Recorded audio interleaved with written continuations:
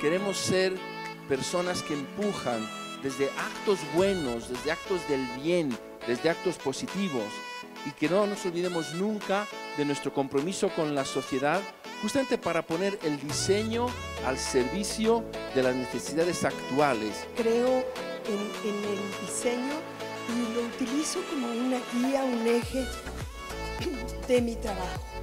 porque siempre he pensado que los valores estéticos están en todos lados y nos ayudan a comprender el mundo mejor.